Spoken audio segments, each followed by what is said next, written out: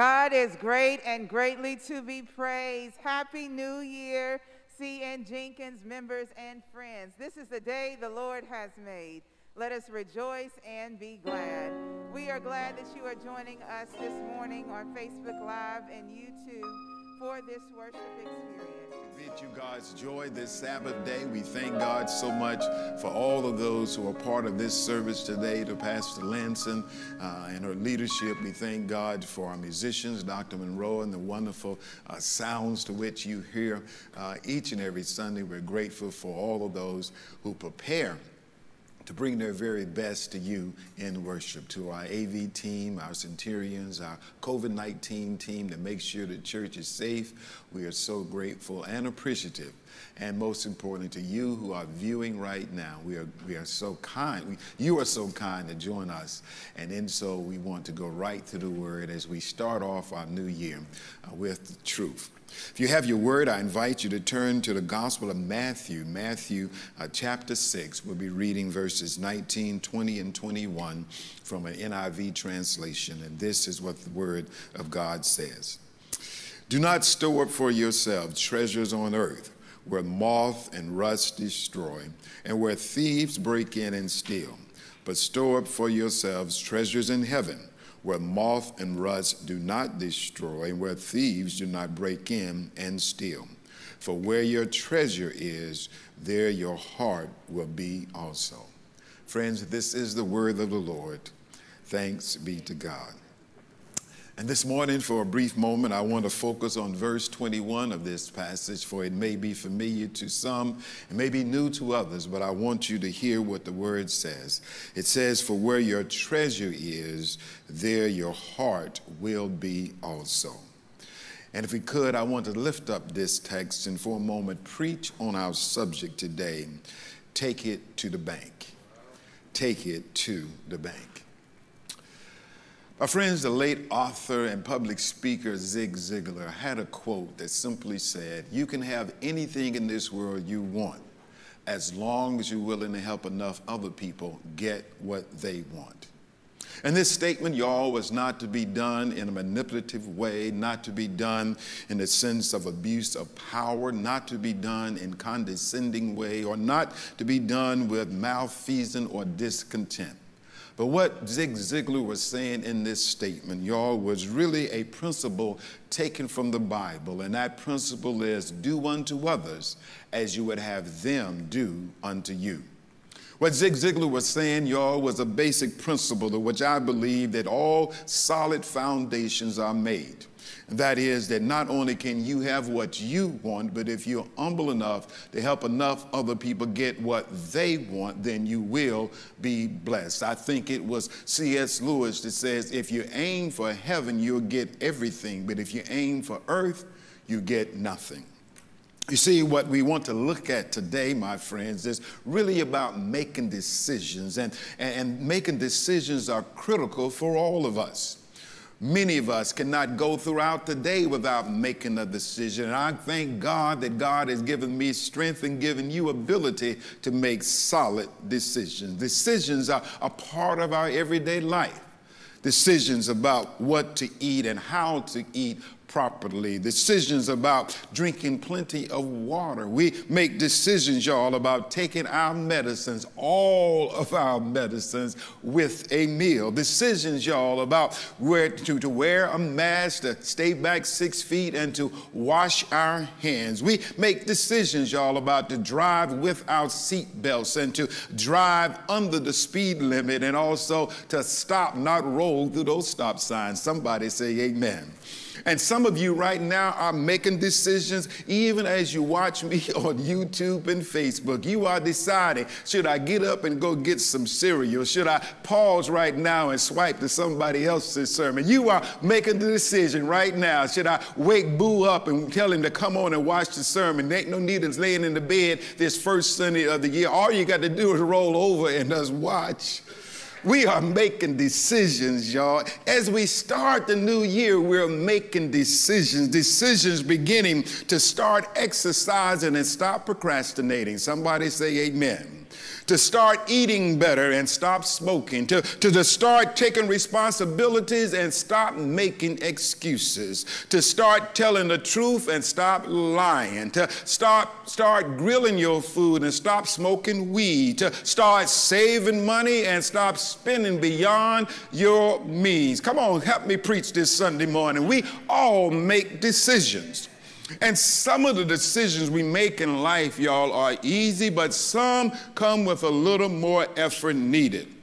And the way that I've found that you make good decisions is to have your priorities in space. But where can we find priorities? I, I like the way that Stephen Covey says. He says that the key to is not to prioritize what's on your schedule. The key is to schedule your priorities. Jim Rohn, that great speaker, said it this way He says, You cannot make progress without making decisions. Former President Theodore Roosevelt, I like the way he said it. He says, In any moment of decision, the best thing you can do uh, is the right thing. The, the next best thing is the wrong thing. And the worst thing is to do nothing. Stephen Covey, again, the author of The Seven Habits of Highly Effective People, he said it this way He says, I am not a product of my circumstances, I am a product of my decisions. And you see, I want you to understand for the next several weeks, the next several sermons, we're going to be talking about making decisions. Decisions, I believe, that would help us live a stronger, a more positive, and a more wholesome life. It was Craig Groeschel said it many years ago. He says, the decisions you make today determines the story you tell on tomorrow. And so I want us to make good decisions in 2021. I want us to make solid decisions that affect not just our lives, but add value to the lives of those around us. And the reason I, I've called this sermon, you can take it to the bank, because I believe if you make some decisions based on the word of Almighty God, you can bank on that. Somebody type, I know that's right, right there. If, if you make decisions that are, that are Holy Ghost filled and decisions that are anointed with the word of Almighty God, you can take that to the bank. And what I'm saying by taking it to the bank, y'all, I want us to go straight to the Gospel of Matthew because from here we find Jesus and his teaching, Minister Donna, on the Sermon on the Mount. Luke calls it the Sermon on the Plain. And I believe if Dave Chappelle was around, he would have called it the Sermon in the Hood. But nevertheless, y'all, Jesus is dropping some major instruction. He is talking about choices and he's talking about us making decisions about life on the here and the life to come. For the scripture tells us, do not store up for yourselves treasures on earth where moth and rust destroy and where thieves break in and steal, but store up for yourselves treasures in heaven where moth and rust do not destroy and where thieves do not break in and steal. For where your treasure is, there your heart will be also. And you see, my friends, I want you to get this, this, scripture to, to really understand there are two words that are repeated over and over again, Dr. Monroe, in this text that I believe that stand out and it really gives us the message for this message. The first word is treasure. Can you just type treasure right there in the text box? Try, but just give some voice to treasure. And, and you see, I don't want you to run too quickly to the content that you forget to context.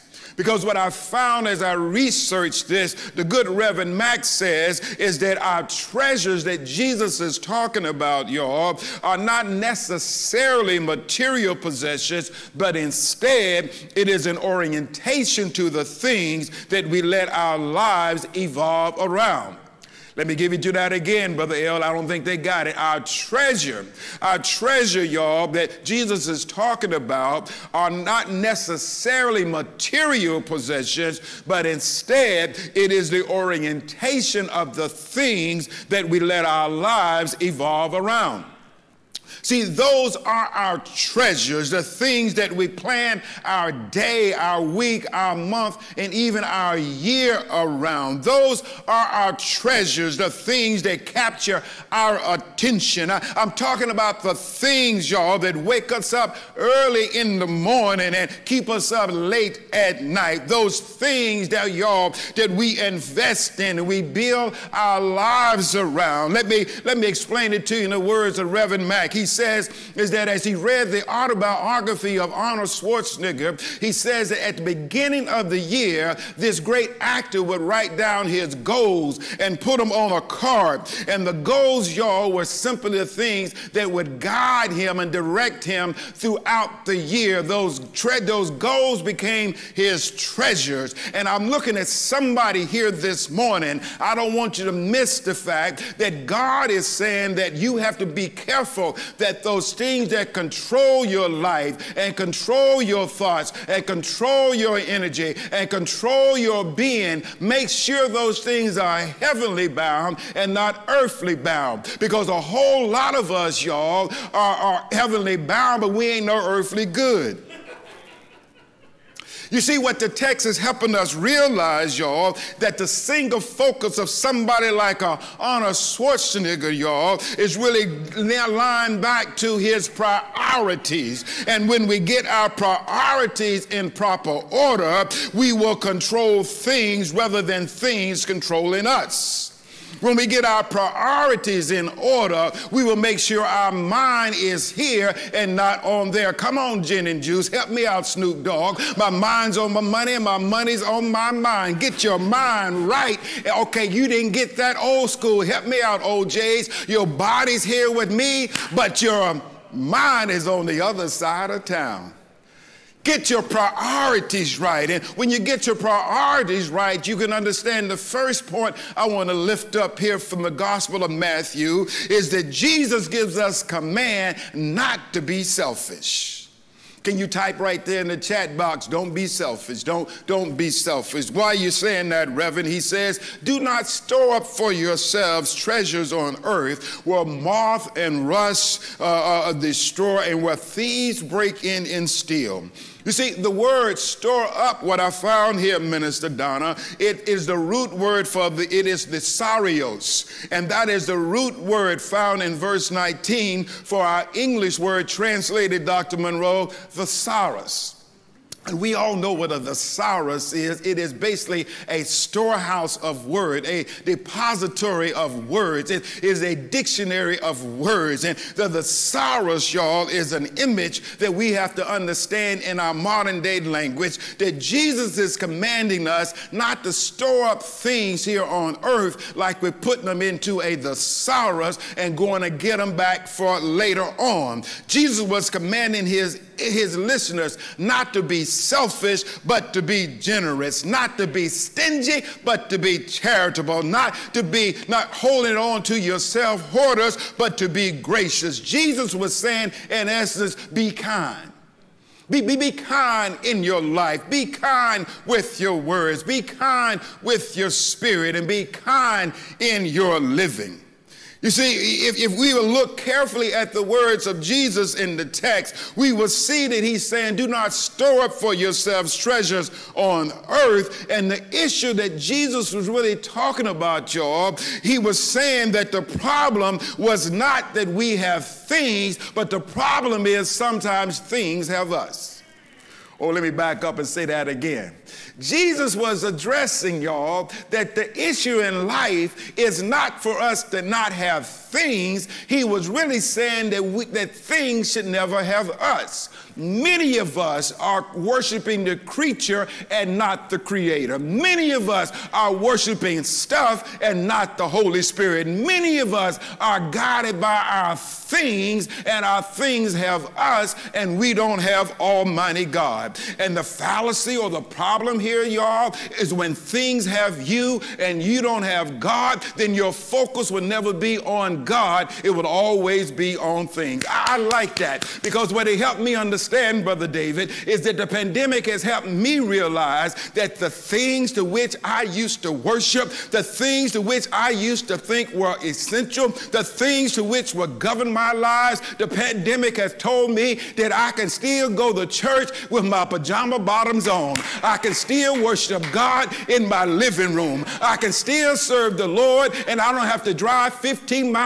to get here. The good news of the word of Almighty God, when my focus is on, okay, let me see if I can help you understand this. Jesus was teaching y'all that when we stockpile stuff for ourselves, we are basically making an announcement to the thieves to come on in and help yourself. Think about it. All the stuff that we have and all the material possessions that we get, Brother George, we're telling people who don't have it to come get it. Think about the boat that's in your front yard that you don't even use. You telling things, people to come. I don't know if you got a boat, Brother George, but people telling people to come and get your boat.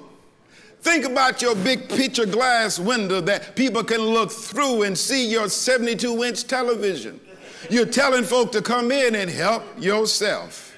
Think about all the things to which we put out for the thieves to come in and understand when Jesus says they break in, he is saying it, Dr. Monroe, in the present tense. Break in means they keep on coming and keep on coming and keep on coming. And we have to recognize, my friends, when we store up things for ourselves, treasures here on earth, moth and rust and thieves will help themselves. But the good news is that the one thing that cannot cannot be taken away is the word of Almighty God. Come on, help me preach right there because somebody knows right now that when you have given your life to the Lord and the Lord is taking control of your life, it does not matter what moth or rust or thieves will try to do. You can't take away my Jesus. You can't take away my Lord. You can't take away my commitment to be a believer in the word of Almighty God. And for that, my friends, I can't help but to to say,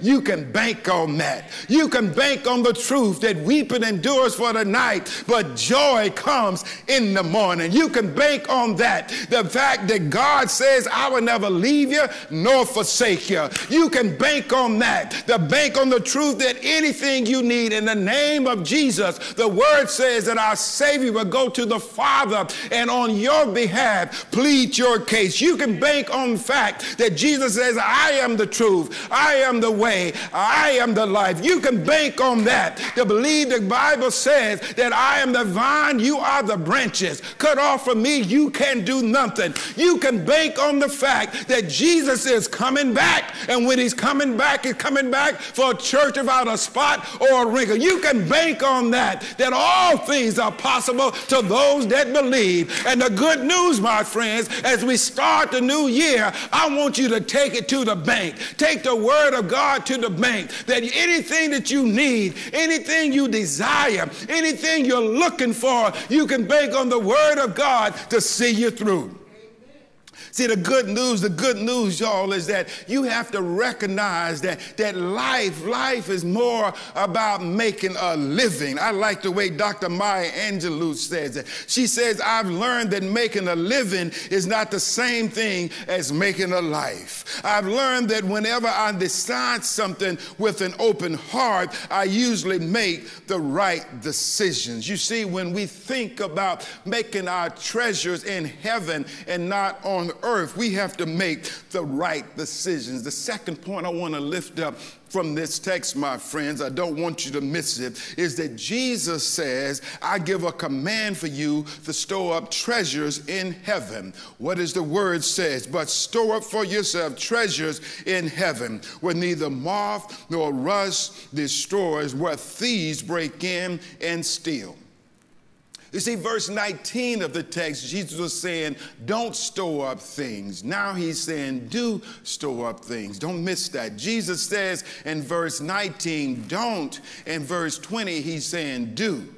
You see, what we need to recognize in these these three little verses of, of this Sermon on the Mount that our Lord is saying that if we store up things here on earth, they will be destroyed. But if you store up things in heaven, they will last forever. You see, the idea to which Jesus again is promoting is that the treasures in heaven are things that will last forever. Let me see if I can illustrate this to you. I don't know if you know the name Chuck Feeney. Chuck Feeney, y'all, is not like Warren Buffett or Bill Gates or one of those uh, great billionaires that you hear about who are great philanthropists. But Chuck Feeney, y'all, really started the way. Matter of fact, he got Warren Buffett and Bill Gates to sign the letter that they would give away their fortunes. You see, Chuck Feeney made his profits, y'all, on those duty free shops. The duty free shops that you go to when you're coming back from Jamaica or coming back from the Virgin Islands and you don't want to pay taxes on your stuff. That, that, that's Chuck Feeney's shop. And what he did, y'all, he started selling, selling alcohol of all things to servicemen in Hawaii and servicemen in, in the foreign countries. And, and he started, that was his business, but he decided to give away all of his fortune. Chuck Feeney, y'all, had $6.2 billion, and it was his goal not to die penniless, but to give away his fortune. He said to the billionaires of America, don't wait till you die before you give your money away. Give it now. Am I talking to some billionaires right now looking at me? Okay, you're not billion yet, but you are million, so don't be hating on me. Okay, you're not millionaires yet, but you, you do have some money. Don't wait till you die to give it away. Give it away right now. Because I've done enough funerals and I've been enough families that though you may not think they ain't to argue over your money,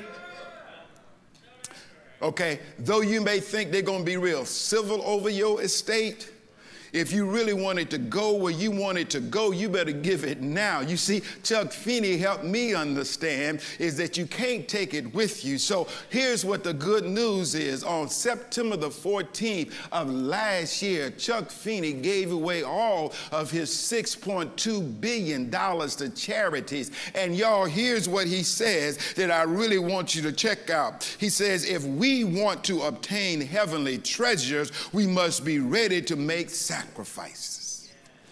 If you want to attain heavenly treasures, if you want to build your treasures up in heaven, you must make some earthly sacrifices. Now, don't miss this because some of us are trying to hold on to every little penny and dime that we have. And I found a quote that I ought to give to you. It says, the richer you get, the more people will help you spend your money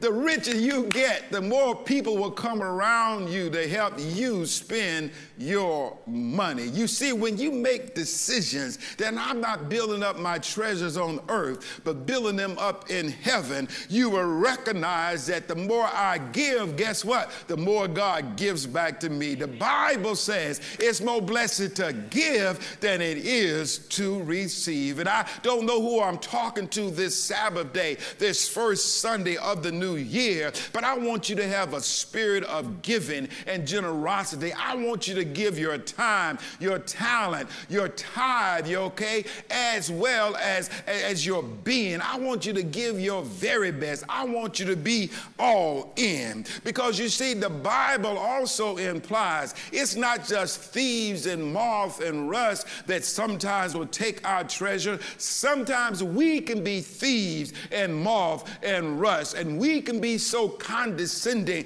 and so stingy and such a bad person that we don't, in, we don't infect, shall we say, good folk with our good spirit. And the Bible is clear, crystal clear to tell us, my friends, is that we have to put our treasures in heaven and not on earth. Let me see if I can close because I want you to get this last point because what the Bible is saying to us, my friends, that the reason we must store up treasures in heaven because they will be with us. What? That's where our heart will be.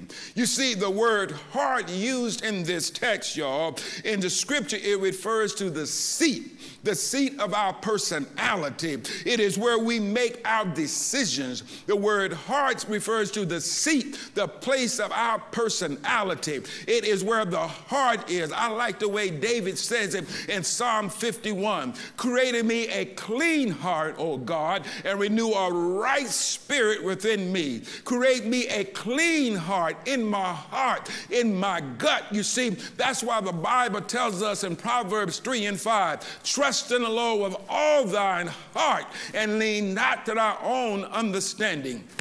We've got to trust God with our heart. Verse 21 of the text tells us Jesus gives us a reason for storing up our possession. Jesus teaches that our love will follow our treasure the heart of a person. The heart will follow the place where that person has their treasures. Where your heart is, your treasure will be also. And the challenge and the invitation, my friends, is that we will have a heart for God.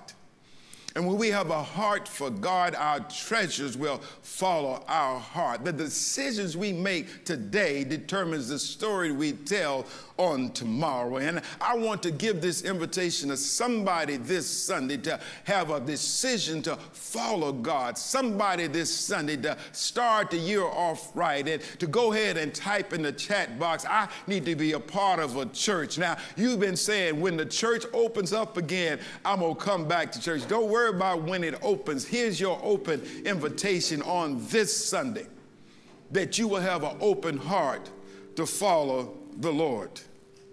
Let me see if I can close by sharing an interesting story with you. I don't know if you remember seeing the movies Ace Ventura or, or, or Liar, Liar, Patch Adams. Don't know if you remember seeing the movies Evan Almighty or Bruce Almighty, but maybe The Nutty Professor. You see, these movies, y'all, were written and directed by a young man by the name of Tom Shadyac. And Tom Shadyac, a graduate of University of Virginia and the UCLA film school, he, he walked away from all of his Hollywood fame because he realized that that was not where peace was. That was not where salvation was. That was not where satisfaction was. Tom Shadyac, who is an executive producer, a writer, a director, a Hollywood Mongol. This, this gentleman walked away a devout Catholic who's reading works like Merton and Augustine. Tom, Tom says, That's not where my peace comes from. He says, in essence, if you sow an apple seed, you can't expect to get avocados. He says that the consequences of your life are sown in what you do and how you behave. He's really pushing y'all my, my whole point about decisions. And I want you to hear what Tom says about decisions because the decisions that he has made to write, move, write scripts and to produce movies were not really about what other folk have said. He, he says it this way He says, Somebody asked him the other day, uh, What's the biggest influence of your filmmaking career? And they started naming filmmakers, he says. And he went, No, it ain't none of that. It's Jesus Almighty. You see, that's what I want us to get to today that somehow we can recognize that making a decision to follow the Lord is really what's going to take us through 2021. God's love, God's blessings, and God's peace because this is the day the Lord has made. Let us rejoice and be glad in it. Y'all have a wonderful day and a wonderful week. We love you. See you next week.